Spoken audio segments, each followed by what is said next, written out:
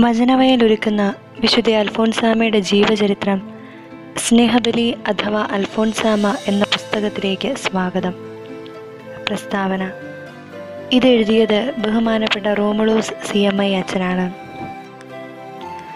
ആയിരത്തി തൊള്ളായിരത്തി നാൽപ്പത്തി ആറ് ജൂലൈ ഇരുപത്തിയെട്ടാം തീയതി അൽഫോൻസാമ കാലധർമ്മം പ്രാപിച്ചു. അവളുടെ അജ്ഞാത ജീവിതത്തിന് അനുയോജ്യമായി തന്നെ ഏറ്റവും അനാഡംബരമായി അവളുടെ ശവസംസ്കാര കർമ്മവും നിർവഹിക്കപ്പെട്ടു. മരിച്ചിട്ട് മൂന്ന് മാസത്തിനുള്ളിൽ അവളുടെ മരണവാർത്ത പോലും പത്രമാസികകളിൽ പ്രസിദ്ധീകൃതമായിട്ടില്ല.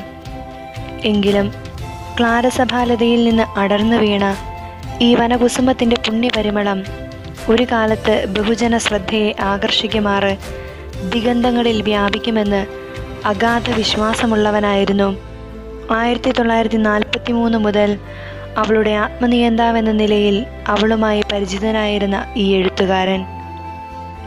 തന്മൂലം അൽഫോൻസാമയുടെ മരണാനന്തരം ഉടനെ തന്നെ അവളെപ്പറ്റിയുള്ള സ്മരണകൾ കന്നികാലയ സഹോദരികളുടെ സ്മൃതിപഥത്തിൽ നിന്ന് മങ്ങി മറയുന്നതിന് മുമ്പ് ഒരു ചരിത്ര നിർമ്മാണത്തിനുള്ള സകല വിവരങ്ങളും അവരിൽ നിന്ന് രേഖാമൂലം ഈ ലേഖകൻ ശേഖരിച്ചിരുന്നു. ഇങ്ങനെ രണ്ടു മൂന്ന് മാസം നിശബ്ദമായി കടന്നുപോയി. അനന്തരം സ്ഥിതിഗതികൾ പാടെ മാറി വീണു. അൽഫോൻസാമ പൊതുജനങ്ങളുടെ സംസാര വിഷയമായി.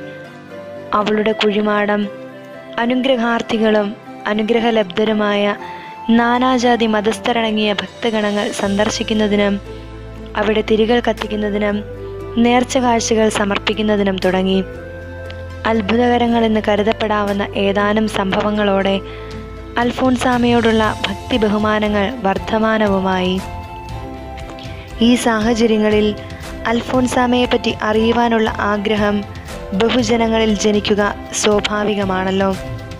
ഈ പൊതുജനാഭിലാഷം വർദ്ധമാനമായിരുന്നെങ്കിലും അതിനെ തൃപ്തിപ്പെടുത്തുന്നതിന് സ്വകാര്യ നിലയിൽ മുന്നോട്ട് വരുന്നത് അനു അനുചിതമെന്ന് തോന്നിയതുകൊണ്ട് ഞാൻ ശേഖരിച്ചിരിക്കുന്ന രേഖകൾ അപ്പടി കിടന്നതേയുള്ളൂ അങ്ങനെ ഇരിക്കെയാണ് ആയിരത്തി തൊള്ളായിരത്തി നാൽപ്പത്തിയേഴ് ജനുവരി ആദ്യ വാരത്തിൽ ചങ്ങനാശ്ശേരി അതിരൂപതയുടെ അധ്യക്ഷൻ വന്യ ദിവ്യശ്രീ മാർ ജെയിംസ് കാളാശ്ശേരി ഈ എഴുത്തുകാരനോട് അൽഫോൺസാമയുടെ ജീവചരിത്രം എഴുതുന്നതിന് ആജ്ഞാപിച്ചത്.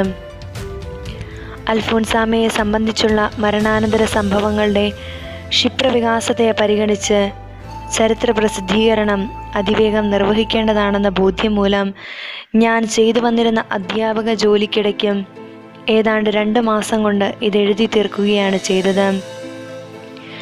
ഈ ഗ്രന്ഥത്തിന്റെ രചനയിൽ ഈ എഴുത്തുകാരൻ പല മാന്യമഹത്തുക്കളോടും കടപ്പെട്ടിട്ടുണ്ട്. ഈ ചരിത്രത്തിന്റെ നിർമ്മാണത്തിന് ആജ്ഞാപിച്ച വന്യമെത്രാനച്ചൻ തിരുമനസ്സുകൊണ്ടും ഇതിന്റെ കൈയെഴുത്ത് പ്രതി പരിശോധിച്ച് കാര്യമായ ചില നിർദ്ദേശങ്ങൾ നൽകി സഹായിച്ചിട്ടുണ്ട്.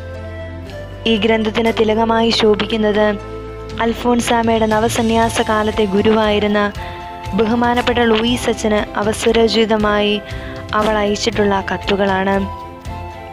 പ്രസ്തുത കത്തുകൾ ചരിത്രത്തിൽ ചേർക്കുന്നതിന് അദ്ദേഹം വിട്ടുതരികയും ഗ്രന്ഥരചന സംബന്ധിച്ച നിർദ്ദേശങ്ങൾ നൽകുകയും ചെയ്തിട്ടുണ്ട്. അൽഫോൺസാമയുടെ നവസന്യാസ കാലത്തെ ഗുരുനാഥ അനന്തരകാലങ്ങളിൽ മഠാധിപ മദർ ജനറൽ എന്നീ നിലകളിൽ അവളുമായി അടുത്ത ബന്ധം പാലിച്ചിട്ടുള്ള മദർ മേരി ഉർസലാം. രോഗിണിയായി കഴിഞ്ഞുകൂടെ കൂടിയ ചരിത്ര നായികയുടെ ദീന ശുശ്രൂഷ ആയിരത്തി തൊള്ളായിരത്തി നാൽപ്പത് മുതൽ അന്തിമ നിമിഷം വരെ അഭിനന്ദനീയമായ വിധം നടത്തി വരുന്നതിനിടയിൽ അവളുടെ ഓരോ നോക്കും വാക്കും സൂക്ഷ്മ നിരീക്ഷണം ചെയ്തു പോന്ന സിസ്റ്റർ ഗബ്രിയേൽ എന്നിവരാണ് ഈ ഗ്രന്ഥത്തിന് ആധാരമായ ഭൂരിഭാഗം വിവരങ്ങളും ശേഖരിച്ചു തന്നിട്ടുള്ളത്. അൽഫോൻസാമയുടെ ജീവിതകാലത്തെ ഏതാനും മധുരോക്തികളും സ്മരണകളും സിസ്റ്റർ മേഴ്സിയിൽ നിന്ന് ലഭിച്ചിട്ടുള്ളതാണ്. ഭരണജ്ഞാന മഠത്തിലെ ഇതര സഹോദരികളും മറ്റു ചില മഠങ്ങളിലെ ഏതാനും കന്യകകളും നൽകിയിട്ടുള്ള വിവരങ്ങളും ഈ ഗ്രന്ഥം ഉൾക്കൊള്ളുന്നുണ്ട്. കുടമാളൂരുള്ള അൽഫോൺസാമയുടെ പിതാവ് പിതാമഹ സഹോദരനായ മുട്ടത്തുപാടത്ത് ബഹുമാനപ്പെട്ട യൗസേപ്പച്ചൻ ജ്യേഷ്ഠത്തി മുട്ടുചിറയിലുള്ള അവളുടെ വളർത്തപ്പൻ മുരിക്കൽ പൗലോച്ചൻ മാതൃ സഹോദരി പുത്രന്മാർ എന്നിവരെയും ഈ ലേഖിതാവ് സന്ദർശിച്ച് വേണ്ട അന്വേഷണങ്ങൾ നടത്തിയിട്ടുണ്ട്. ഇപ്രകാരം നാനാ മാർഗങ്ങളിൽ നിന്ന് ലഭിച്ച വിവരങ്ങൾ ഏതാനും സംവിധാനം ചെയ്യുക എന്ന കൃത്യമേ ഈ ഗ്രന്ഥകാരൻ ചെയ്തിട്ടുള്ളൂ. ദിവംഗതനായ അൽഫോൻസാമയെ ഭാഷാദ്വാര സജീവയാക്കി ലോകത്തിന് പ്രദാനം ചെയ്യാനാണ് ഗ്രന്ഥകാരൻ ഉദ്യമിച്ചിട്ടുള്ളത്. ഈ യജ്ഞത്തിൽ പൂർണമായി വിജയിച്ചു എന്ന് ഞാൻ അഭിമാനിക്കുന്നില്ല. ആധ്യാത്മികവും സ്വർഗീയവുമായ ജീവിതത്തെ മാനുഷികവും ഭൗതികവുമായ ഭാഷയെ പ്രകാശിപ്പിക്കുന്നത് എളുപ്പമല്ല. എങ്കിലും ഈ ചരിത്രത്തിലെ സാഹിത്യ ഗുണത്തിന്റെ കുറവിനെ കഥാനായികയുടെ അതുല്യമായ ജീവസാഹിത്യം അത് ഭാരതത്തിൽ ഇതംബരം ഉണ്ടാക്കിയിട്ടുള്ളതിൽ ഏറ്റവും പുരോഗമനപരമാണ്. പരിഹരിക്കുമെന്നുള്ള വിശ്വാസം ഈ ഗ്രന്ഥകാരനുണ്ട്.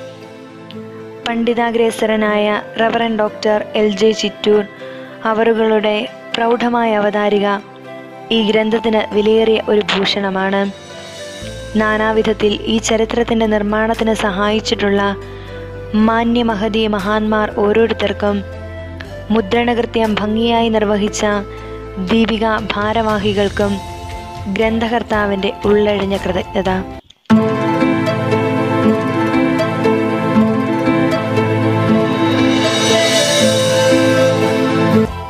വചനവയൽ ആപ്പ്. എല്ലാ കാലത്തെ ലോഗോസ് ക്വിസിനുള്ള പഠന സഹായി. വചനവയൽ ആപ്പിലെ ക്വിസ് പ്ലാറ്റ്ഫോമിൽ എല്ലാ ഞായറാഴ്ചകളിലും രാത്രി ഒൻപത് മുപ്പതിന് ലോഗോസ് ക്വിസ് മോഡൽ ക്വിസ് മത്സരം. ഇന്നു തന്നെ ഗൂഗിൾ പ്ലേ സ്റ്റോറിൽ നിന്ന് വചനവയൽ ആപ്പ് ഡൗൺലോഡ് ചെയ്ത് ലോഗോസ് ക്ലബ് അംഗത്വമെടുക്കൂ ലോഗോസ് ക്വിസിനായി ഒരുങ്ങൂ.